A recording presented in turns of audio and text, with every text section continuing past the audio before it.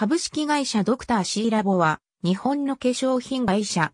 アクアコラーゲンを主成分とした基礎化粧品を中心として、健康食品、美容機器等を取り扱っている。シーラボの名称は、本化粧品の開発に、主関与した白のクリニック C ビタミン C コラーゲンにちなんでいる。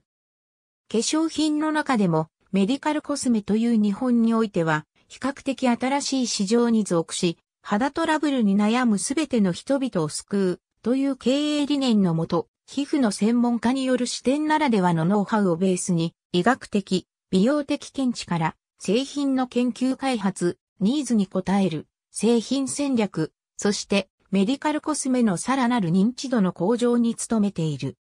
抗酸化力を有するポリフェノールからヒントを得て開発されたフェニルエチルレゾルシノールを国内で初めて配合したブライトニング美容液スーパーホワイト377を2009年3月23日にリリース、その成分に注目が集まっている。